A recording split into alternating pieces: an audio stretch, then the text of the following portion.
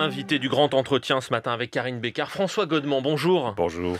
Vous êtes historien, vous êtes l'un de nos grands spécialistes de la Chine, vous êtes également euh, conseiller Asie pour l'Institut Montaigne. Nous voulions vous donner la parole ce matin pour mieux comprendre un, phénomène qui a bouleversé euh, nos habitudes, notre consommation, notre mode de vie.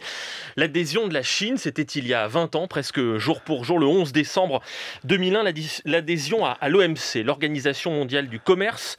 Le marché chinois s'ouvrait aux entreprises étrangères, en même temps que le nôtre s'ouvrait encore plus largement aux produits chinois. Aujourd'hui, on ne peut pas se passer euh, de la Chine. Je vais juste prendre un exemple. Les masques que nous portons euh, tous trois en studio, que les Français euh, portent aussi toute la journée. L'an dernier, la France en a importé 30 milliards. Les deux tiers sont arrivés de Chine. Un pont aérien avait même été mis en place. François Godement, est-ce qu'il y a 20 ans, on pouvait imaginer la transformation qu'a vécue la Chine? Il y a 20 ans, oui. En 2001, euh, c'est la fin d'un marathon de négociations pour l'entrée l'Organisation mondiale du commerce. La Chine a déjà fait 20 ans de réformes.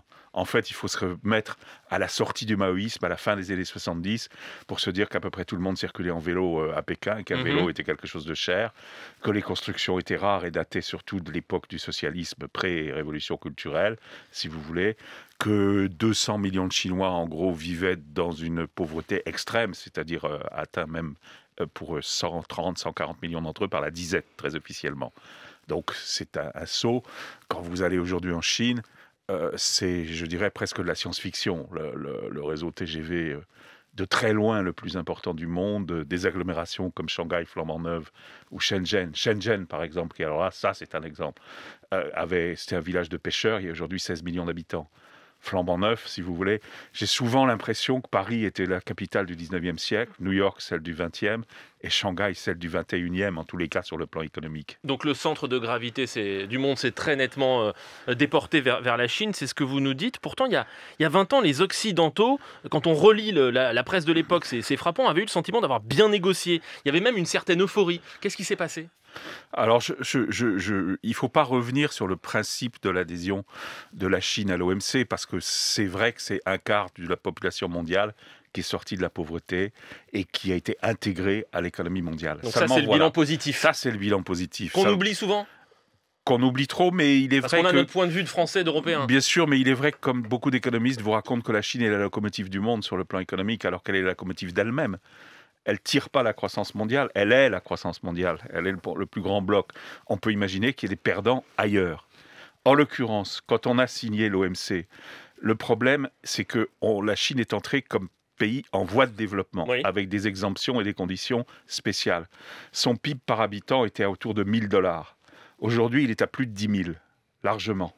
Euh, et ce statut, quand vous regardez les négociations de l'OMC, il n'y avait aucune clause de revoyure il n'y avait pas moyen de renégocier. Il n'y a que si le pays accepte.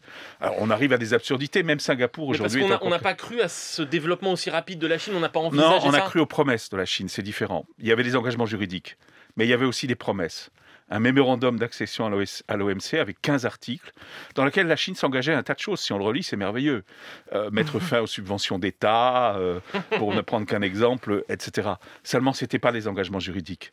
Et dans le système de négociation chinois, ce qui n'est pas verrouillé dans le bronze, si j'ose dire, sans possibilité d'arbitrage ou d'échappatoire, ça n'existe pas. Ça donne un les, espace. Les économistes libéraux de l'époque ont voulu se tromper eux-mêmes, je me rappelle très bien de, de, cette époque, en disant que c'était le début d'une libéralisation et d'une transformation, de réforme de l'économie chinoise. En fait, je ne vais pas dire que c'était la fin, mais pas loin. La mhm. Chine avait fait ce qu'il fallait pour entrer dans l'OMC. Vous décrivez euh, très très bien une Chine donc très solide. Euh, aujourd'hui, euh, c'est un pays, une économie qui semble malgré tout tout le temps sur la défensive. Avant d'aller plus loin, est-ce que vous pouvez nous détailler malgré tout aujourd'hui les fragilités de la Chine? Bah, il y en a évidemment, euh, même si elles sont pour l'instant maîtrisées. Euh, la première, c'est que cet essor énorme, sans une véritable économie financière de marché, il y a des éléments d'économie financière de marché, mais ce n'est pas une économie complète de marché, ça repose beaucoup sur une épargne gigantesque, euh, et une épargne souvent très très peu rémunérée.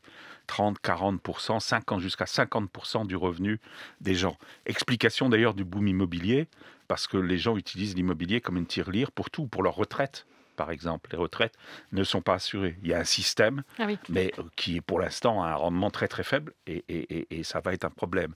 La deuxième euh, faiblesse, évidemment, c'est celle d'une économie largement subventionnée avec des credos d'exportation très très très très très forts, euh, mais qui euh, du coup dépend entièrement de la poursuite de ce système. Jusqu'ici, tout va bien, parce que comme elle a des surplus commerciaux extérieurs énormes, elle a, elle- les capitaux arrivent, la Chine les transforme, les remet dans les subventions, et ça repart, si vous voulez, sous forme d'objets fabriqués. La Chine est le plus grand producteur du monde d'objets fabriqués, Mhm. elle a dépassé tous les autres. La deuxième faiblesse, c'est la démographie, évidemment. Alors ça l'a toujours été. Autrefois, il y avait trop de Chinois et trop d'enfants. C'est le boom de- du grand bond de la révolution culturelle.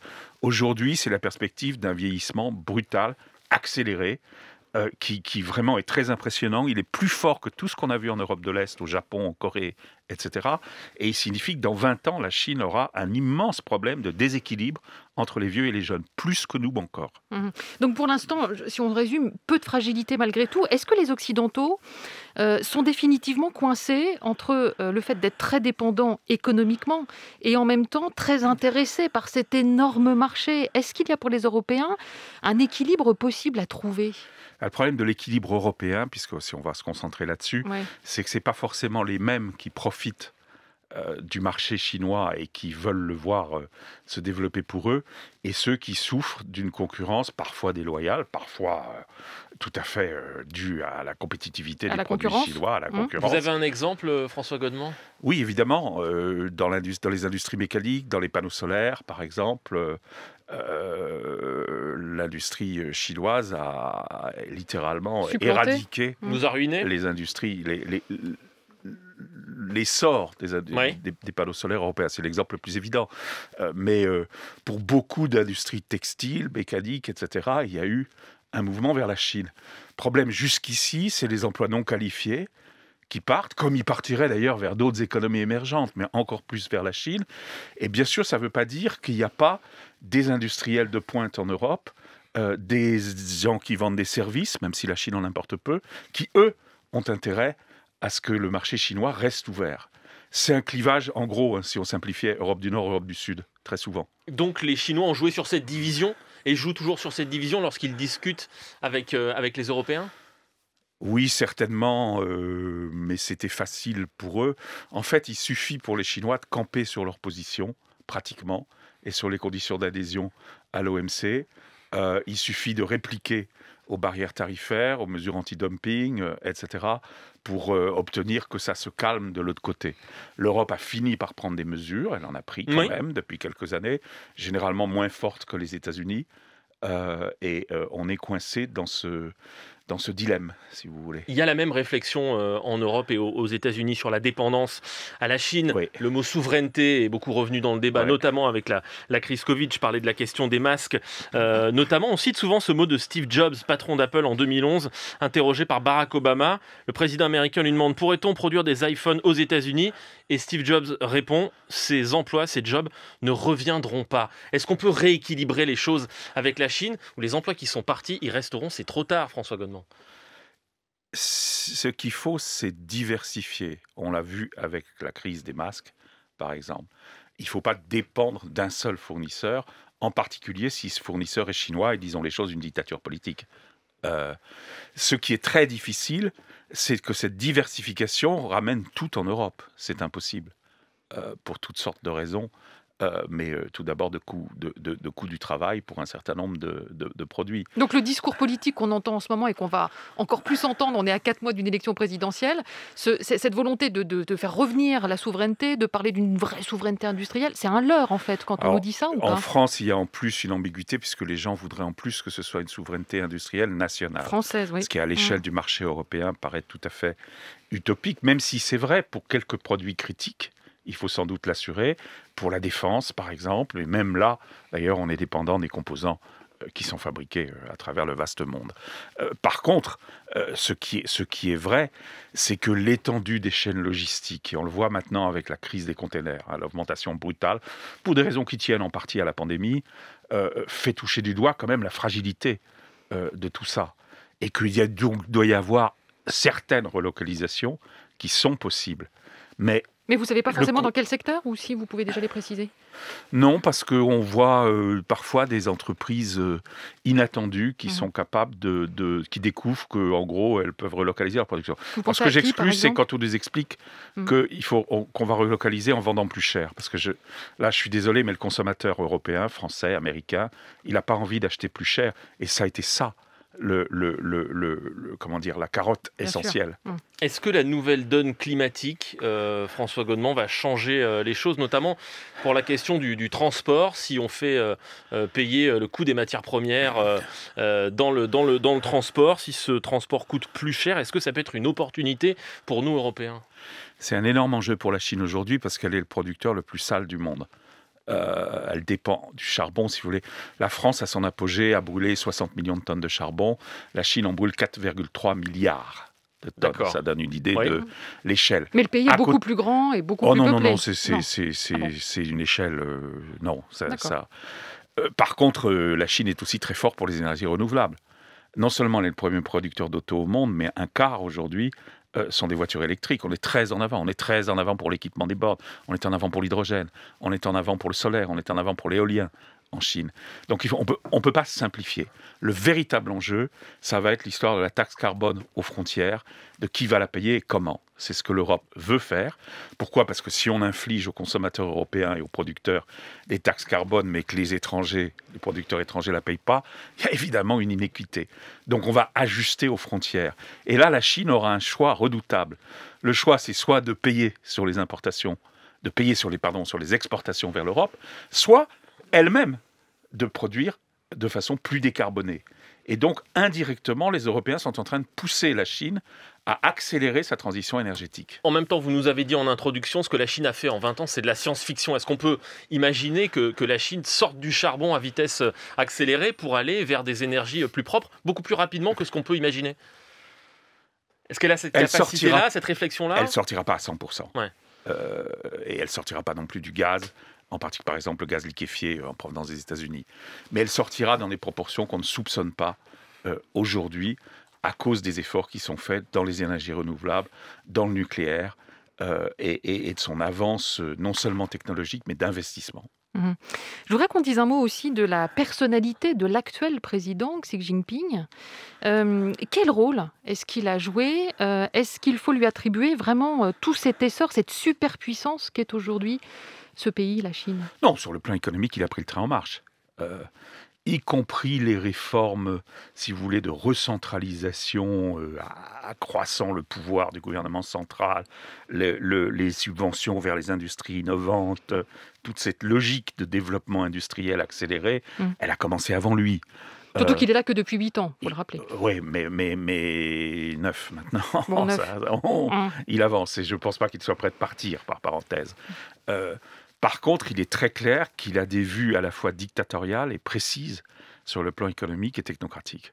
Donc il impose sa vision avec des tournants qui sont parfois brutaux. Par exemple, au début de l'année, justement, décider d'abaisser la, consommation de charbon et, d'ailleurs indirectement provoquer une crise de l'énergie, parce que le prix du charbon a monté, les usines d'électricité se sont arrêtées et il y a eu un problème.